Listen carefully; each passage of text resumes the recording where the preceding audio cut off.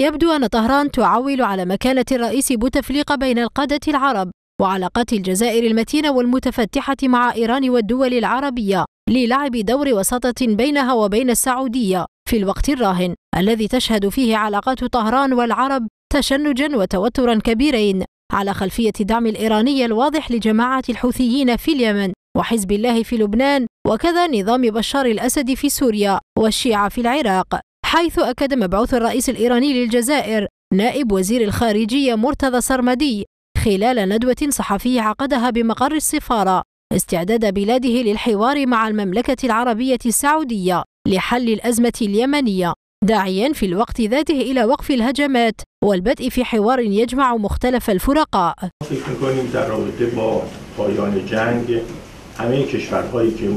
هناك إمكانية لكل الدول التي اتخذت مواقف مناسبة في الواقع أن تؤثر في هذا المجال. في الواقع في الهجوم على اليمن. يكون هناك جهد عام ومساعي عامة في الواقع أن تكون من قبل كل الدول الصديقة. نحن لا نريد أن أن يتوسع انعدام الأمن وعدم الاستقرار في الواقع. فنحن نريد يعني في الواقع أن يكون هناك حوارا بين الفرقاء اليمنيين لإخماد نار الحرب والفتنة. ووصف الدبلوماسي سرمدي التدخل العسكري ضد الحوثيين لدول التحالف في العملية العسكرية عاصفة الحزم بالخطأ الاستراتيجي.